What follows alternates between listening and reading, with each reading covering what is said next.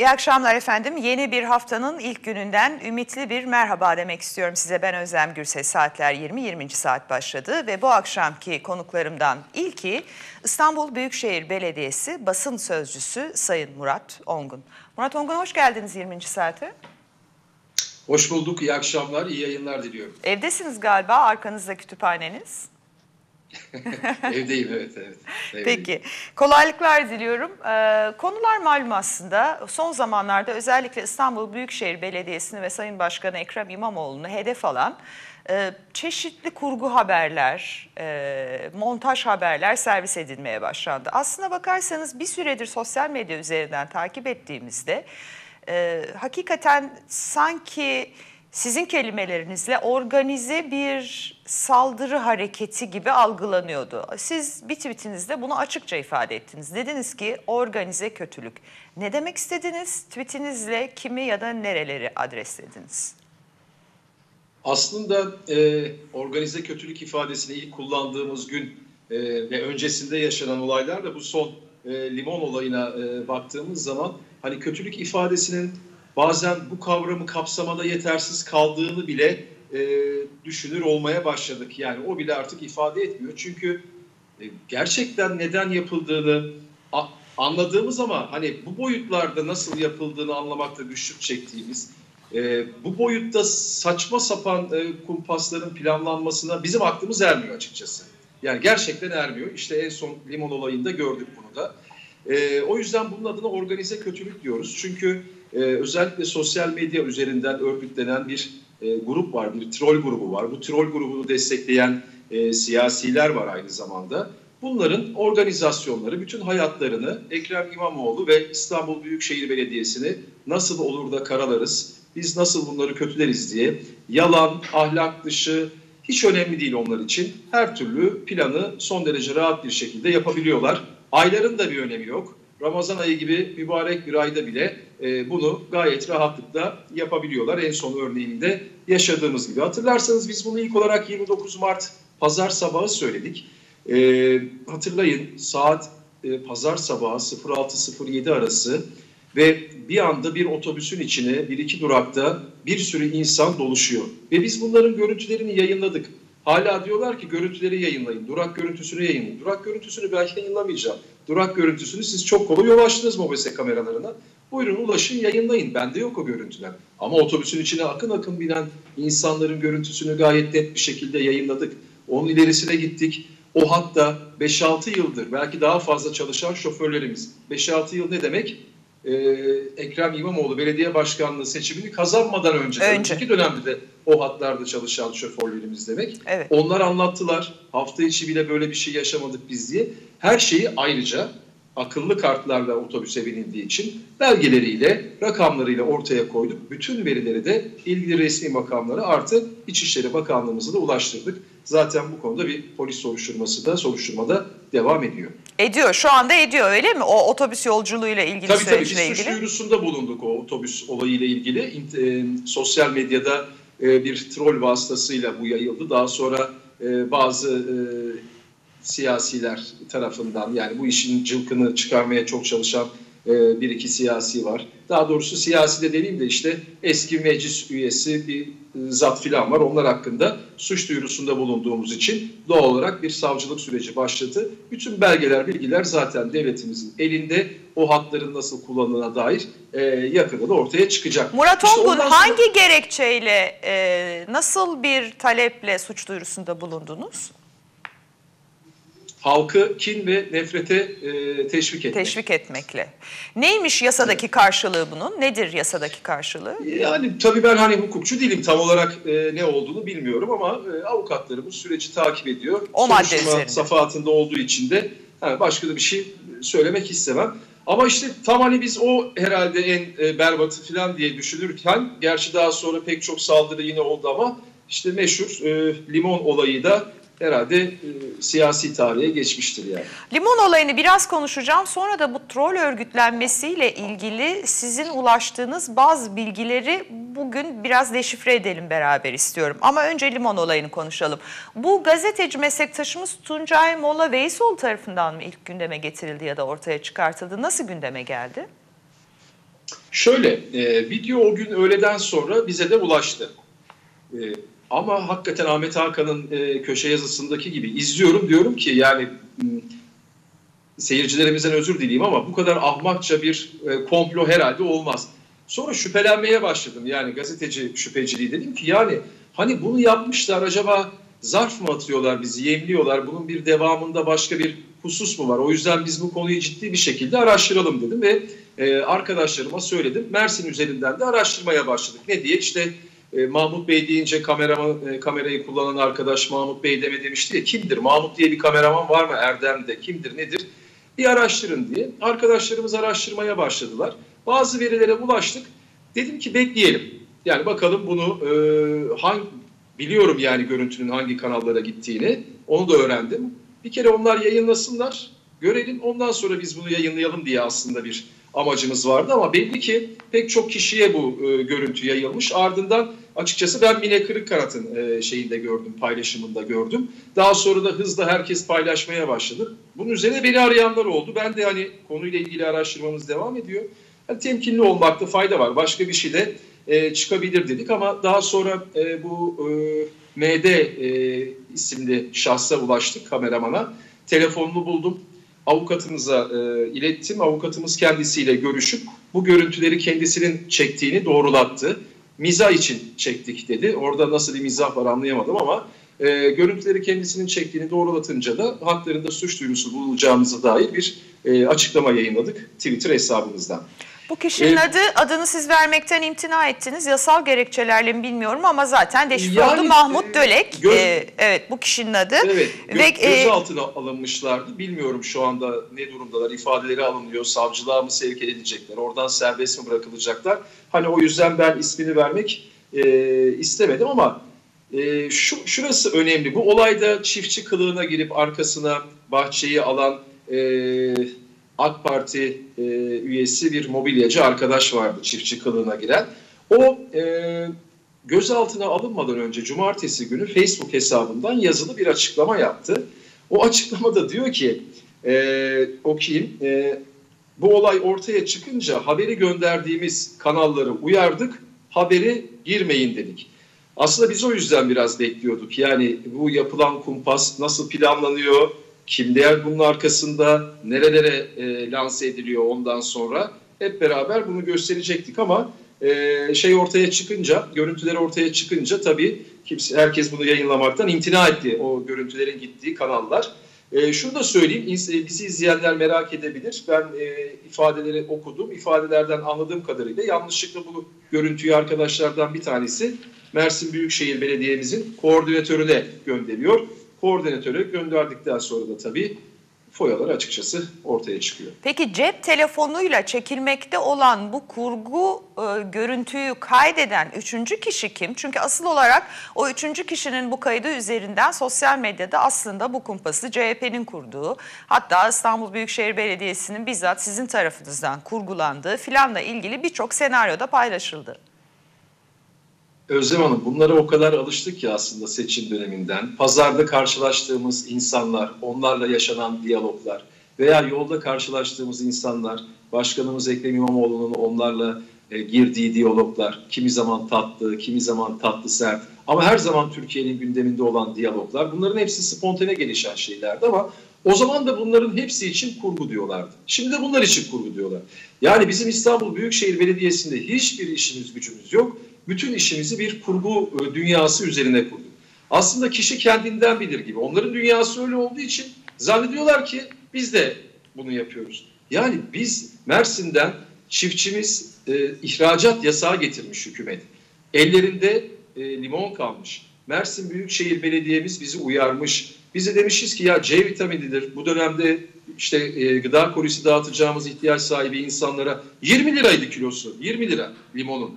20 lira kimse de alamaz bunu zaten e, ihtiyaç sahibi insanlar. Hem çiftçimize destek olmuş olalım hem de İstanbul'da vatandaşımızı vitamin takviyesi yapmış olalım. Bu kadar e, hoş bir düşünceyle yola çıkıldı ve e, alındı. Yani bunun üzerinden ben bunu lanse ederim etsem şeye kamuoyuna bunu lanse ediyorum zaten. Bunu yaptık diye duyuruyorum. Yoksa gidip ya hiç işimiz gücümüz yok. İşte İmamoğlu Tarsus'tan aldı da Erdemli'den almadı da öyledir. Ya o kadar e, hani kelimeyle ifade edemiyorum. Uçuk bir düşünce.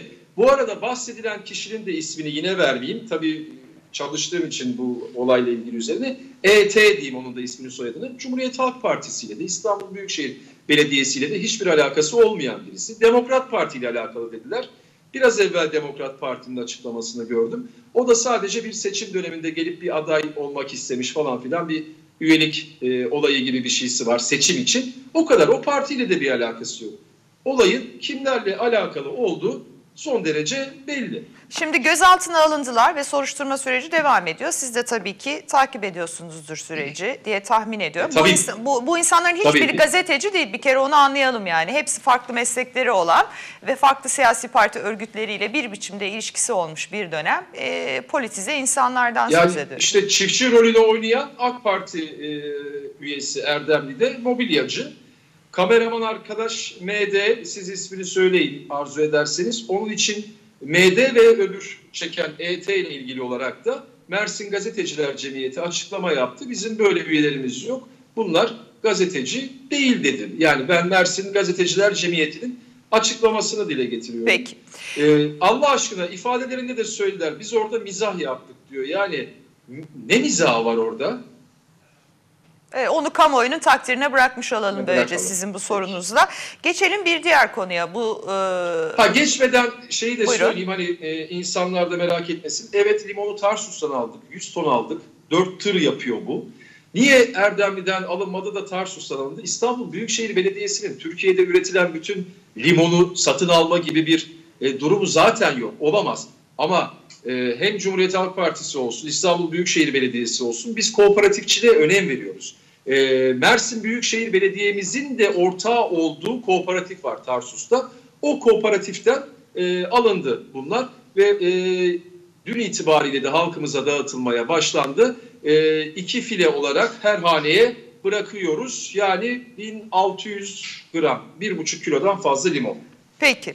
Geçelim Alevilik tartışmasına. Yayınladığınız ve zannediyorum 100 bin olarak mı dağıtıldı bir broşürde e, bir e, çizim var. E, bir karikatür değil daha çok bir grafik çizim gibi ve o grafik çizimde işte Alevi vatandaşlarımız diğer farklı semavi dinlerin temsilcileriyle sanki başka bir kategori gibi gözüküyor ve bunun üzerinden de büyük bir fırtına koptu. Vay efendim Alevilik e, başka bir din midir? İslamiyet'in dışında bir inanç sistemi midir? Siz ne ima etmek istediniz? En düzünden sorayım. Siz ne ima etmek istediniz? Ona gelmeden önce bir detay daha var. Onu da isterseniz paylaşalım. Bir de o e, Cumhuriyet ve Demokrasi kitapçığımızın içinde bazı karikatürler vardı. E, işte mesela birinde başkan şaşırma sabrımızı taşırma bir pankartı böyle gençler arkada yürüyor gibi. İşte bunu da halkı galeyana getirme, sokağa çağırma gibi filan e, lanse etmeye çalıştı o troll grupları. Şimdi şunu söylemek istiyorum. Cumhuriyet ve Demokrasi kitapçığımız aynı zamanda bunun bir filmi de var. YouTube'dan izleyebilirler. 2016 yılının Eylül'ünde 2016 yılının Eylül'ünde Ekrem İmamoğlu Beylikdüzü Belediye Başkanı iken yaptırdığımız bir çalışma. Bu kitapçığı baştan sona okuyan veya o filmi baştan sona izleyen herkes bizim orada dile getirdiğimiz her şeyin altına %100 imza atar. Eğer hem Cumhuriyet hem Cumhuriyetçi hem de demokrat bir vatandaşsa orada bahsedilen her şeyin altına %100 imza atar. Vatandaşlarımızın okumasını isterim. 2016 yılında parlamenter sistem vardı. 2016 yılında Başbakan e, Binali Yıldırım'dı, Sayın Binali Yıldırım'dı. Cumhurbaşkanımız da bu zamana kadar gelen Cumhurbaşkanlığı sisteminde yer alan bir Cumhurbaşkanıydı. Yanlış hatırlamıyorsam Türkiye'nin 12 ya da 13. Cumhurbaşkanı. Evet. Yani başkanlık sistemi konusu e, önce referandum daha sonra da 23 Haziran 2018 seçimlerinin 24 Haziran 2018 seçimlerinden sonra gündeme geldi. O karikatürde başkan şaşırma diye ifade edilen başkan Ekrem İmamoğlu. Yani o kendisini oraya koydurdu. Yani ben hani şu demo, demokrat tavrı size anlatmak için yapıyorum. Ama biz sa- sanki sanki o çizim oraya e, Sayın Cumhurbaşkanı'na karşıt konulmuş gibi. Dört yıl önceki iş. İkinci olarak bahsettiğiniz şeye gelirsek o kısım din ve vicdan özgürlüğü diye anlatılan bir kısım. Bir kere orada bir montaj var. Bizim o fotoğrafımızın hiçbir yerinde burada İslamiyet, burada Musevilik, burada işte Hristiyanlık, burada Alevilik gibi bir ibare yer almıyor. Öncelikle onun altını çizelim. Ee, zannedersem biraz e, Alevi rahatsızlığı olan insanlar e, herhalde e, bunu dile getirdi. Yani dikkat ettiyseniz dün itibariyle Türkiye'nin en büyük Alevi örgütleri bir açıklama yaptı ve bundan e, hiçbir rahatsızlık duymadıklarını ve neden rahatsızlık duyulduğunu sordular. İstanbul Büyükşehir Belediyesi olarak veya daha önce de Beylikdüzü Belediyesi olarak biz hiçbir zaman bir konu İslamiyet içinde, İslamiyet dışında tartışmasında hiçbir zaman girmedik ki. Orada bir Sünni e, şey var, imam var, Alevi dedesi var. İşte e, Hristiyanlığı simgeleyen e, bir din görevlisi var. Museviliği simgeleyen bir din görevlisi var. Yani bu e, aynı zamanda bu coğrafyada yaşayan insanları temsil eden bir şey. Bizim İstanbul'umuzda yaşayan insanları temsil eden bir şey. Ayrıca Alevi dedesi var diyorum da hani Alevi açılımlarıyla e, ilgili süreçlerde devletin bizzat görüştüğü, raporlara işlediği, Alevilerin dini önderi konumundaki temsili insanlar bunlar. Öbürü de papaz ve haham zaten. Yani burada hiç ortada olmayan bir şey gündeme getirilmiş değil ki. Son derece sıradan bir konu. Ama bugün bazı açıklamalarda bile görüyoruz. Ee, yani sinekten yağ çıkarma e, malzemeleri bunlar. Orada yazılanları, o fotoğrafın yanında ifade edilenleri herkesin okumasını isteriz. Ona itirazı olan varsa ona da saygı duyarız yani kendileri açısından. Son olarak Başakşehir Hastanesi meselesini e, sormak istiyorum. Önce yol konusuyla gündeme geldi. Son olarak e, Başakşehir Hastanesi'ni yakmaya çalışan bir PKK'lıyla sözde bir görüşme yapıldığıyla ilgili tweetler atıldı. Gerçi bazı gazeteciler daha sonra bu paylaştıkları tweetleri sildiler. Nedir bu tartışma ve az önce Sayın Cumhurbaşkanı Recep Tayyip Erdoğan'ın e, kabine sonrası Türkiye'ye yaptığı açıklamalarda da bir video aracılığıyla tekrar gündeme getirildi bu hastane mevzusu. Nedir konu? Bu konuda ayrıntılı bir açıklama yaptık ama çok kısa, öz, sade bir şey söyleyeyim. Başakşehir Devlet Hastanesi'nin, şehir hastanesinin karayolu inşaatı için 2015 yılında projesiz bir torba ihale yapılıyor İstanbul Büyükşehir Belediyesi tarafından. Çeşitli yollar denilerek. Daha sonra da 2017 yanlış hatırlamıyorsam ya da 2018 yılında karayolunun inşaatına başlıyor İstanbul Büyükşehir Belediyesi. Ciddi de bir para harcıyorlar. Bayağı da yol yapıyorlar. 580 milyon lira para harcıyorlar. Ben hastane inşaatı devam ederken arkadaşları karayoluyla gönderdim kamerayla. Gidin bakalım dedim arabayla ulaşılabiliyor mu? Ulaşılıyordu. Tabii ki eksikleri vardı ve o eksikler tamamlandı. Ama bunun üzerinden büyük bir e, siyaset kampanyası başladı. Yolu durduran kim? Bir önceki İstanbul Büyükşehir Belediyesi. Niye durdurmuş? Demişler ki yolu yapan müteahhite sen burayı yapma. Sen gel buradaki enerjini, e, maddi gücünü, insan gücünü, makine gücünü e, Dolmabahçe tüneli için harca. Dolmabahçe'de biliyorsunuz bir tünel inşaatı var yarım kalan. Oraya gir demişler. O yolu onlar yarım bırakmış. Müteahhit de oraya girmiş. Orası da zaten yarım da şu anda.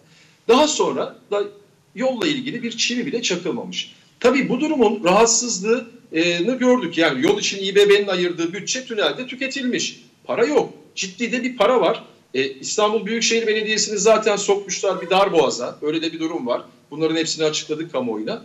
Ama başkanımız dedi ki ya bu yol önemli bunun bitmesi lazım. Ne yapalım biz İstanbul Valiliğiyle bir toplantı yapalım. Sayın Valimiz Başkanlığında 25 Aralık 2019 tarihinde bir toplantı yapıldı.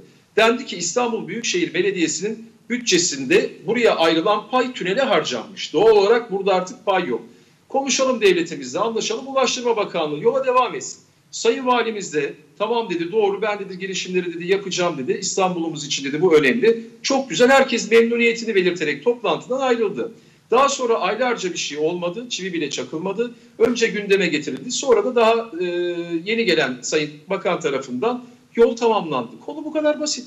Zaten biz de yolun böyle tamamlanmasını istiyorduk. Ama yapmadı değil, yapamadı. Niye?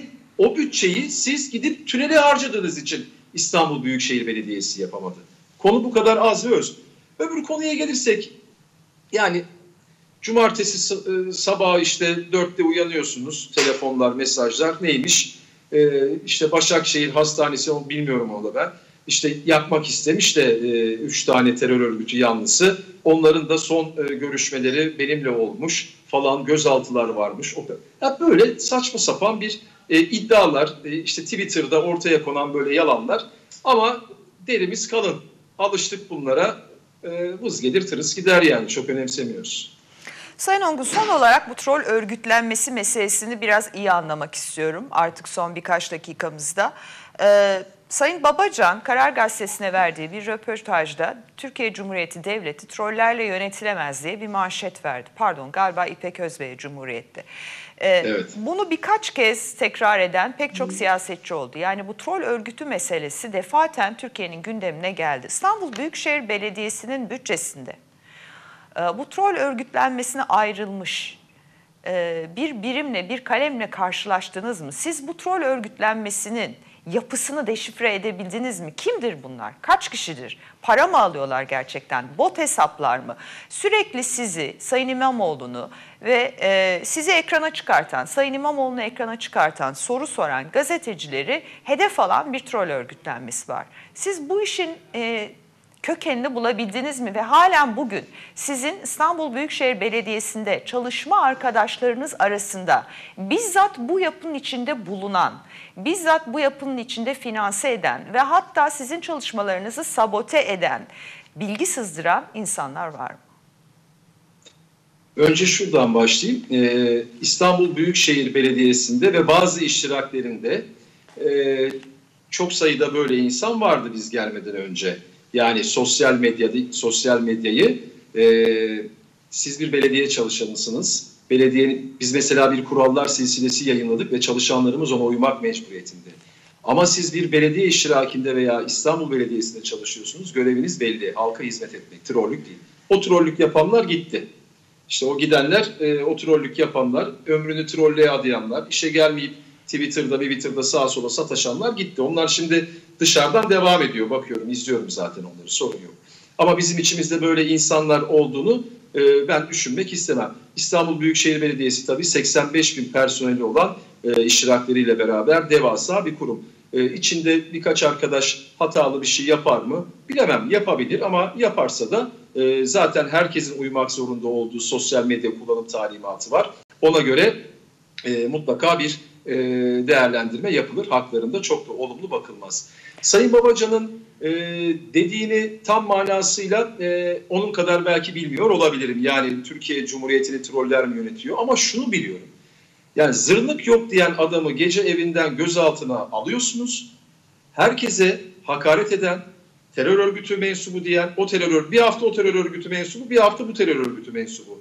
İnsanlara e, çılgınca saldıran, hiçbir ayarı olmayan insanlarsa bazı himayeler altında biliyoruz onları da ellerini kollarını sallayarak saldırganlıklarına devam ediyor. Ama nereye kadar? Nereye kadar? Elbet sonu var. Peki e, son olarak korkuyor musunuz? Kimden? E, Bir yandan da tehdit de alıyorsunuz. Yani ben görüyorum e, sosyal medya üzerinde size Sayın Başkan'a gelen mesajları sadece hakaret hakaret değil ciddi anlamda tehditler de e, var onların arasında. Özlem Hanım annem izliyordur şimdi böyle sormayın tedirgin olur.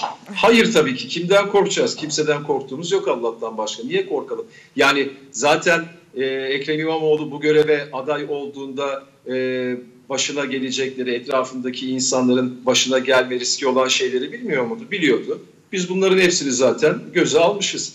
Yani bazıları bazı yerlerden, bazı kapalı yerlerden korkabilir ama o bize göre işler değil. Bizim kimseden korkumuz yok. Çalışarak işimizi yapmaya devam edeceğiz. Dedim ya yani o konularda derimiz kalın yani. Vız gelir tırıs gider. Yeter ki biz doğruyu yapalım. Biz doğruyu yaptığımız müddetçe e, içimizde rahat, kalbimizde rahat. Hiç kimseden ama hiç kimseden de korkumuz yok tabii ki. 16 milyonluk bir kenti ve size oy vermemiş olan milyonlarca seçmeni de e, aynı zamanda e, himaye ediyorsunuz. Hizmet götürmek zorundasınız. Size oy vermemiş Tabii hatta ki. belki eleştiren. AK Partili İstanbullu seçmen var. Aranız nasıl onlarla? Çok iyi. Zaten başkanımız ne dedi her zaman seçimi kazandığı itibaren? Parti rozeti çıkmıştır ki zaten Millet İttifakı'nın adayıydı bir partinin değil. Ama ne dedi? Ben İstanbul İttifakı'nın adayıyım diyordu zaten. İster oy versin ister oy vermesin. Tabii ki vatandaşa hizmet e, en önemli görevimiz. Yani o bana oy... Ha bunu yaptılar. Bir önceki belediye başkanı hatırlarsanız dedi. Tabii ki biz metro inşaatını bize en çok oy veren yerde başlatacağız dedi. Ama bu siyaset tarzı, bu hizmet anlayışı bizim hayata bakışımızla ve hizmet anlayışımızla tamamen zıttır. Yani birisi oy vermedi diye öyle öyle bir şey yok yani. Kesinlikle yok. Zaten e, bütün hizmetlere de eşit şekilde devam ediyoruz. Ama şu olmuş, onu olmuş değil zaten biliyorduk da verilerle de bugün görüyoruz. Daha önceki yönetim esnasında e, AK Partili ilçe belediyelerine Büyükşehir Belediyesi'nin son derece ciddi yatırımları olurken 14 Cumhuriyet Halk Partisi Belediyesi'nin 5-6 tanesine sıfır, diğerlerine de neredeyse e, az önemde çok az yatırım yapılmış. Mutlaka e, her yerin eşit şekilde kullanması lazım. Her ilçenin, herkesin eşit hizmeti alması lazım. Bunun için çalışacağız. Bırakacağım size ama hakikaten bu sefer son soru. Ee, herkes diyor ki Sayın Ekrem İmamoğlu'nu Sayın Murat Ongun yönetiyor. Öyle mi gerçekten? Ee, ve bir de size yönelik pek çok eleştiri var. Bunların ne kadarını hangi ölçüde ciddiye alıyorsunuz? Eleştirilmek sizi nasıl hissettiriyor? Bunu söyleyenler e, için bir ifade kullanmak istemiyorum. Son derece ayıp, son derece kaba bir şey. Yani Türkiye Ekrem İmamoğlu'nu tanımıyor. Ben kimim ki Ekrem İmamoğlu'nu yöneteceğim? Ben, yani böyle bir şey olabilir mi? Kim herhangi biri yönetemez ki Ekrem İmamoğlu'nu. Ekrem İmamoğlu zaten bir figür, bir karakter. Koskoca 25 yıllık e, İstanbul'daki hakimiyeti sona erdirmiş, seçimi kazanmış bir insan. Yani seçimi kim kazandı affedersiniz? Kim kazandı yani sihirli cümleler mi kazandı? Hayır. Seçimin kazanmasında benim şahsi fikrim %99 pay Ekrem İmamoğlu'nun şahsınadır.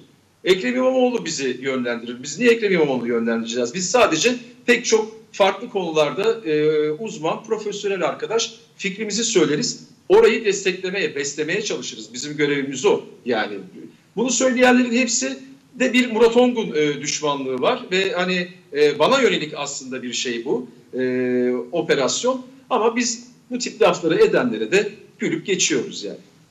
Peki çok teşekkür ediyorum. İstanbul Büyükşehir Belediyesi basın sözcüsü Sayın Murat Ongun 20. saatin bu geceki yayınının ilk konuydu. Kendisini uğurluyorum. Selamla ve sevgiyle iyi akşamlar diliyorum. Çok teşekkürler bir kez daha Murat Ongun.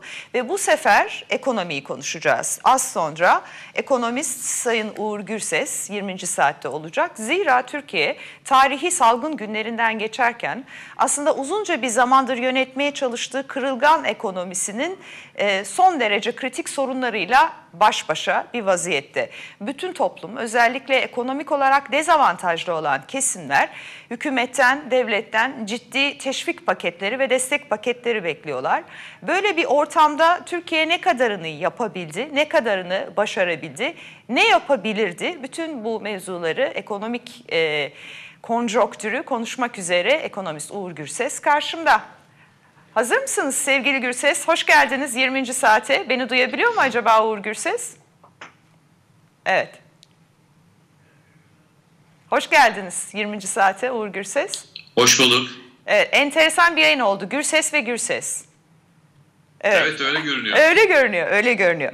Ee, uzunca bir zamandır Türk ekonomisiyle ilgili kritik yazılar yazıyorsunuz, e, kritik demeçler veriyorsunuz ve yakın takip ediyorsunuz. Zaten hem kamuda hem özel sektörde hem de e, sektörümüz olan gazetecilikte e, yıllardır emek veren değerli bir uzmansınız. Türkiye bu pandemi günlerine nasıl bir tabloyla yakalandı ve bugün pandeminin 50. gününü e, geride bırakırken nasıl bir ekonomik noktadayız? Önce bir değerlendirmeyle başlayalım. Şimdi e, geçmişte yani bu kriz başladığı zaman, salgın başladığı zaman ya da salgının küresel bir salgın olduğu tespit edildikten sonra e, ondan önce daha doğrusu biz aslında şöyle bir ekonomiyle e, bu krize yakalandık, salgın krizine yakalandık halının altına süpürülmüş bir sürü sorun var. Ama gündelik palyatif çözümlerle ekonomi yüzdürülmeye çalışıyordu, çalışılıyordu. Ee, bu konuda hani çok böyle bir mesafe alabilmiş değildik. Ama yani hükümet, Ankara, işte ekonomi yönetimi e, kamu bankaları üzerinden kredi pompalayarak ki şu anda da öyle e, ekonominin yoluna sokulacağını düşünüyorlardı. E, iki şey vardı. Türkiye'nin e, ekonomik büyümesinin ana temel unsurlarından bir tanesi e, Türkiye'ye giren sermaye, yabancı sermaye ya da döviz kaynağı diyelim biz ona. E, bir tarafta yabancı sermaye çıkarken öbür tarafta da kendi vatandaşımız, yurttaşımız, şirketlerimiz e, döviz satın alıp bankada döviz tutmaya başladı. Dolayısıyla e, bu bir güvensizliğin bir göstergesiydi. Güvenin olmadığı yerde ekonomik büyüme olmaz. Ne kadar siz e, kamu bankalarıyla, Merkez Bankası kaynaklarıyla kredi pompalamaya çalışsanız da insana geleceğe dönük olarak bir yatırım yapmaz. Ya da geleceğe dönük bir e, işte dayanıklı tüketim malı alayım onu işte e, taksitle öderim demez. E, nitekim 2018'deki bu Brunson krizinden sonra e, ciddi bir e, döviz şokuyla, döviz kriziyle e, bir belli bir yere kadar geldik. Sonra 2019'da yerel seçimler var diye hükümet yine kamu bankaları kanalıyla kredi pompalamaya çalıştı. Özel bankalar yavaşlarken ki hala öyle. E, bir, bir süre daha gidebildi. Daha sonra yine bu devam etti tabii e, özel bankalara da bir e, kredi verim baskısı, kredi verim baskısı. Ama şunu gördük ki e, belli sektörlerde işte inşaat, e, gayrimenkul gibi alanlarda biraz kıpırdanma oldu. E, biraz e, dayanıklı tüketim mallarında e, özellikle bu e, kamu e, kaynaklı, kamu bankaları kaynaklı taşıt kredilerinde bir rahatlama olduğu için e, biraz e, araç satışları arttı. E, hepsi buydu. Yani geleceğe dönük olarak hane halkının çok böyle yüksek bir alışveriş şeyine girdiği görülmüyordu. Diğer sektörlerde de oldukça zayıf olduğunu görüyorduk zaten. E, sorunlar var. E, şirketler borçlu. E, bu özellikle son 10 yılda e, küresel e, ekonomideki bu parasal genişlemeden dolayı olağanüstü derecede bir sermaye akımı olmuştu gelişen ülkelere. E, Türkiye'ye de oldu tabii. Ve e, bizim şirketlerimiz olmadığı kadar borçlu şu anda. Milli gelirin e, milli geliri oranla kabaca %70 civarında bir e, borçluluğu var e, şirketlerimizin. Türkiye tarihinde hiç görülmemiş bir şey bu. Yani geçmişte %20-30'luk bir banta giderken bu, e, bu çok devam ciddi etti. bir yüzdeden söz ediyorsunuz Uğur Gürses. Yüzde yetmiş bu Türkiye tarihinin en yüksek borçluluğu herhalde özel evet, sektör açısından. E, bireyler açısından şirketlerini... bireyler açısından da değerlendirmenizi istersen. Bireyler, bireyler çünkü bugün bile hala krediden söz ediliyor. Yani aslında bir teşvikten ya da destekten daha çok yeni bir borçlanma e, teklifi gibi geldi bana. Doğru mu okuyorum? Şöyle, e, birincisi e, bireyler tarafında çok yüksek bir borçluluk yoktu e, Türkiye'de. Biraz bir miktar arttı ama sonra düşmeye başladı. özellikle bu hani taşıt kredilerinin çok şişirdiğini söyleyebilirim geçmişte. Biraz tabii konut kredilerinin artmasıyla bireylerin borçluluğu arttı ama çok böyle hani rahatsız edici bir boyuta gelmedi Türkiye'de o birey borçluluğu. Orada tabii ki borç ödeme zorluğu çeken vatandaşlar var. Onun miktarları çok arttı.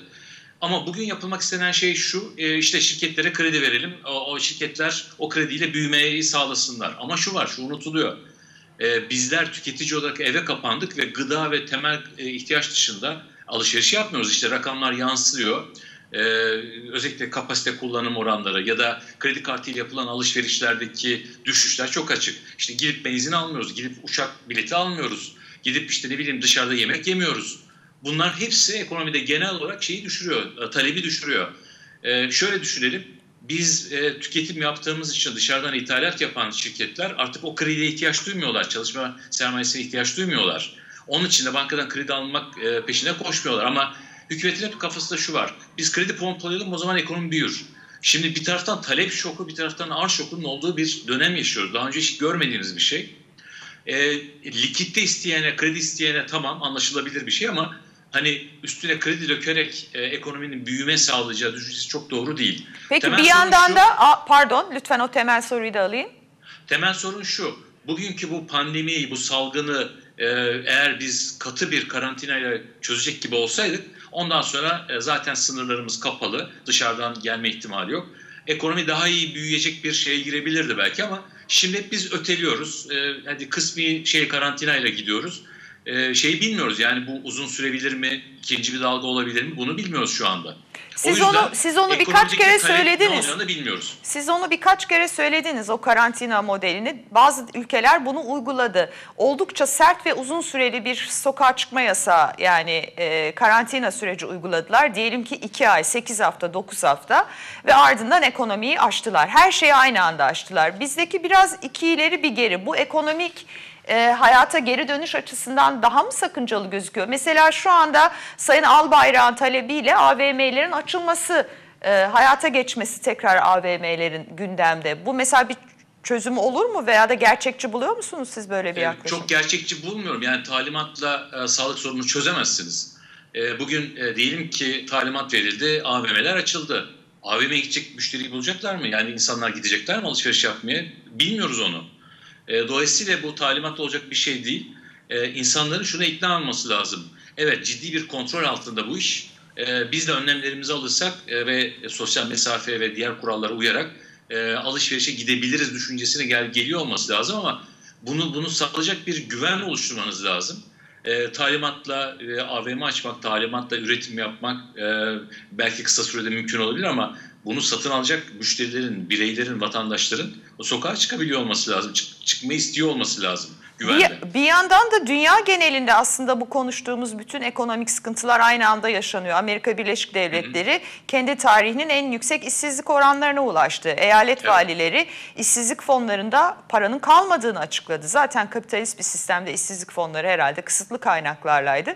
Bizdeki durum ne? Ya da şöyle sorayım. Türkiye daha iyisini yapabilir miydi? Bugünkü koşullarda bile bu pandemiden geçerken e, kendi kaynaklarını daha farklı kullanmayı seçebilir miydi?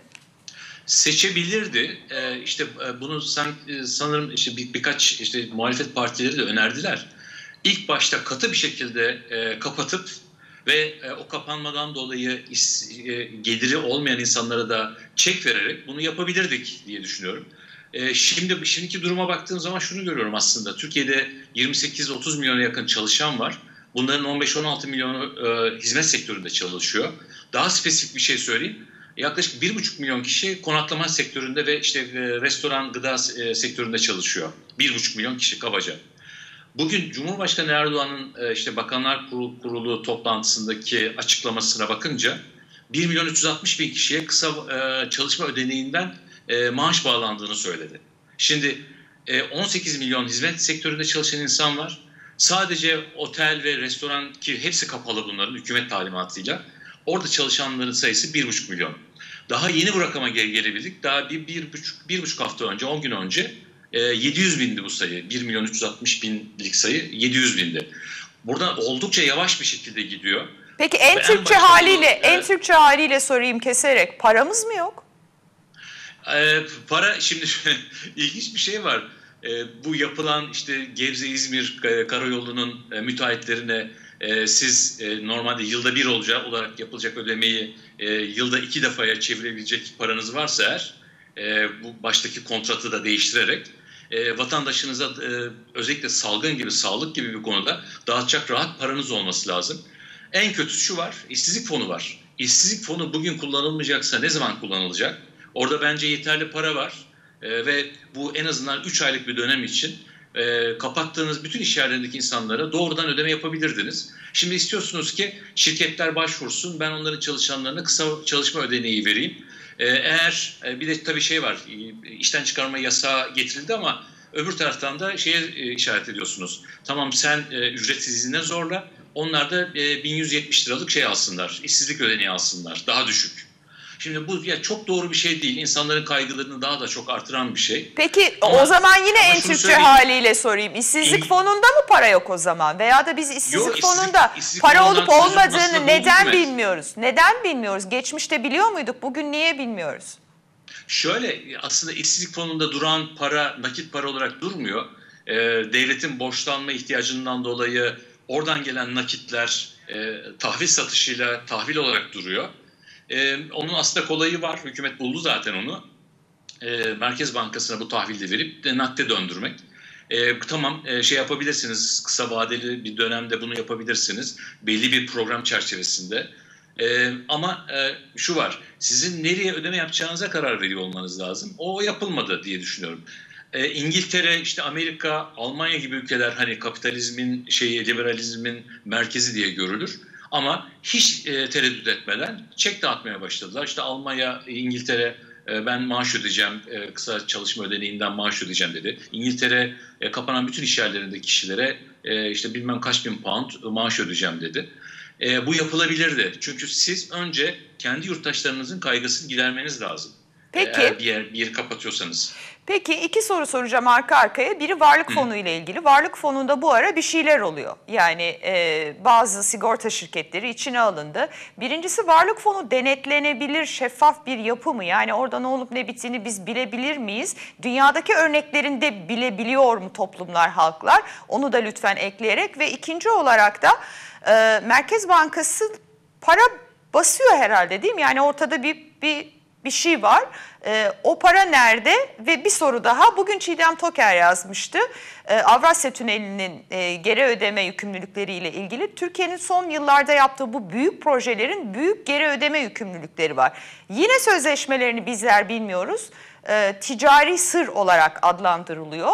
Dünyada da böyle mi yapılıyor bu sözleşmeler ve mücbir sebeple bu geri ödeme yükümlülükleri ertelenemez mi ya da tamamen vazgeçilemez mi bunlardan? Buradan Türkiye'ye bir kaynak yaratılamaz mı?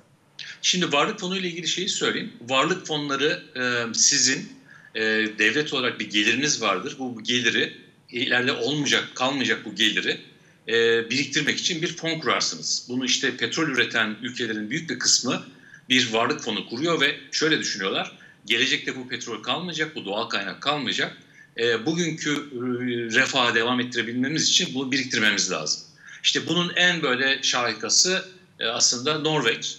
Norveç'in e, e, varlık fonu e, petrol gelirleri üzerine kurulu.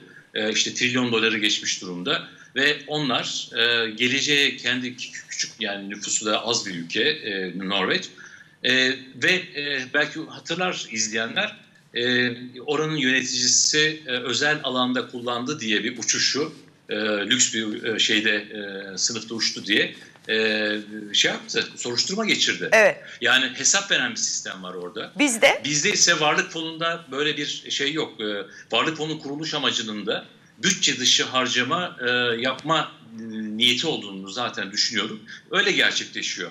İşte bugünlerde konuşuluyordu. E, işte Çaykur e, zararı niye Nasıl oldu da evet. Varlık fonuna, varlık fonuna aktarıldıktan sonra, taşındıktan sonra e, Çaykur mesela zararı artmış. Görünen o rakamlara bakınca.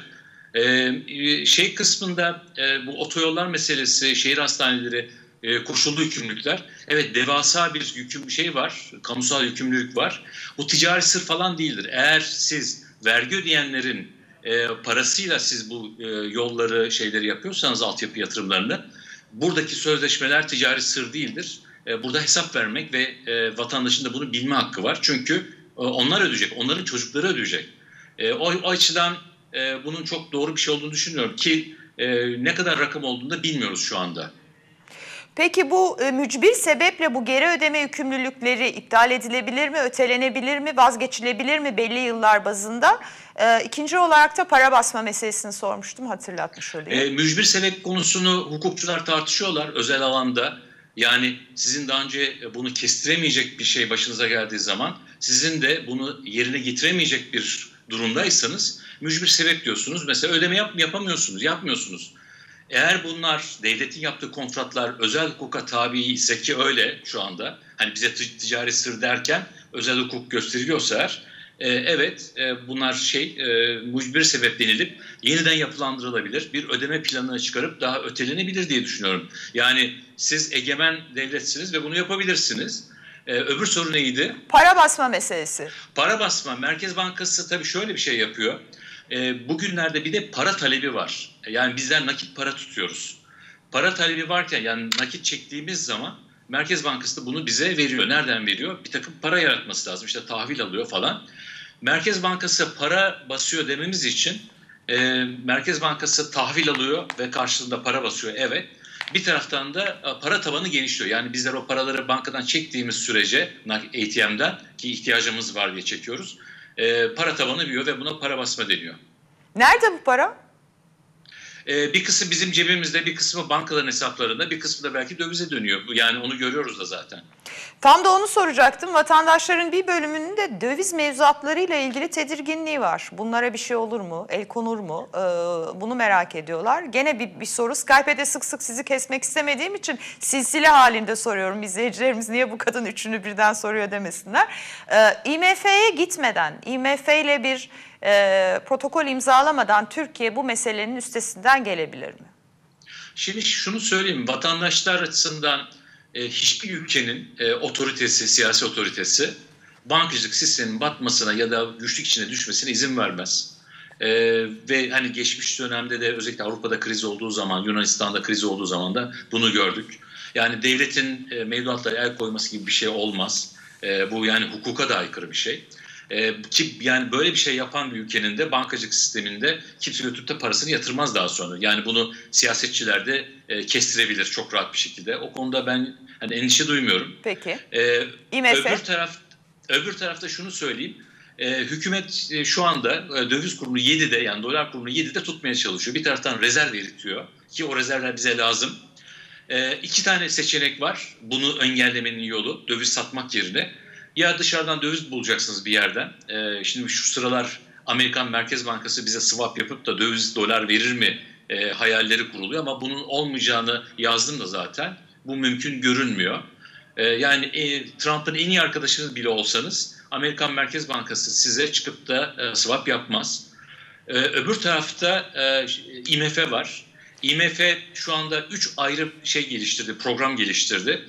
E, ve e, kabaca ülkelerin e, kendi oradaki kotasının e, 1.4 1.1.5 civarında bir e, limitle e, para alabiliyorsunuz, döviz, e, fon alabiliyorsunuz ve çoğu da e, şarta bağlı değil. Yani bugün Türkiye gitse dese ki ben bu likitte imkanından yararlanmak istiyorum verin bana kotam kadar ve kotamın bir buçuk katı dese kabaca 5,5-6 milyar doları alabilir.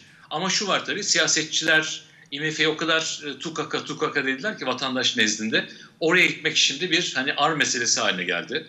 E, ikincisi IMF ile bir standby anlaşması, bir ekonomik programı yapmak demek.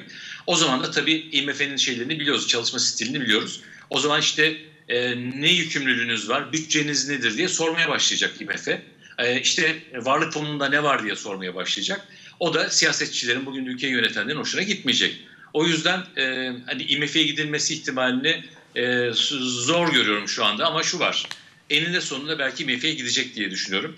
E, eğer e, hükümet bir program yapmış olsaydı 2018 krizinden sonra IMF'ye gitmeden de ekonomiyi toparlama imkanı olabilirdi. E, ama şu anda giderek o koşulları hani gemileri yakıyor şeye doğru. E, bir, bir noktada IMF'ye gitmeye mecbur kalacağız diye düşünüyorum. Ama şunu da unutmayalım.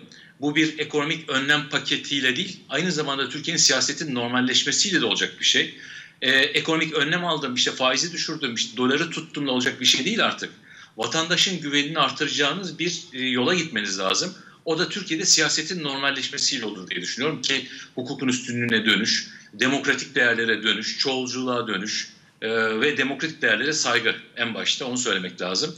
E, bunu hepimiz görüyoruz. Yani hangi partiye oy verdiğimizden bağımsız olarak e, bu insanlar, e, sokaktaki insanlar bu durumu gördükleri için partisiz bir şekilde insanlar bir şekilde gidip döviz alıyorlar. E, bizim en önce bunu durdurmamız lazım. O da e, güvenle olur. Peki son sorum ve son 3 dakikam. Ee, Dünya Sağlık Örgütü Başkanı pandeminin başında demişti ki test, test, test. Şimdi de bütün ekonomistler diyor ki işsizlik, işsizlik, işsizlik. Ee, nasıl bir vadede, nasıl bir işsizlik senaryosu öngörüyorsunuz Türkiye için? Ee, senaryolar çok ee, ama önce şunu söylemek lazım. Birisinin bize bu pandeminin nasıl e, seyredeceğini söylemesi lazım senaryo olarak ki çeşitli senaryolar var pandemi işte 3 ayda kontrol altına alınır sonra ekonomi toparlanır. IMF'nin mesela tahmini bu şekilde. E, ana senaryosu bu şekilde. E, ya da e, bir ikinci dalga gelirse işler daha kötü olur. Ya da e, bugünkü çok uzun sürer bir de üstüne ikinci dalga gelirse daha da kötü olur e, senaryoları var. E, şimdi genel olarak bakıldığı zaman bizim önümüzdeki görünen fotoğrafta işsizliğin artacağını görüyoruz. Yani işsizlik yasağı 3 ay için var. 3. E, ayın sonunda bunu uzatır mı hükümet? E, çok emin değilim. Ama bu koşullarda işsizin açığa çok açık. 1 ila 3 milyon civarında e, işsizin açacağı tahminleri var iktisatçılar tarafından. E, bu tabii neredeyse bugün her 10 kişiden birinin işini kaybetmesi demek. Ve şunu da söylemek lazım, not düşmek lazım. E, e, zaten kadınların iş gücüne katılımı düşük ve aynı zamanda istihdamdaki payları da düşük.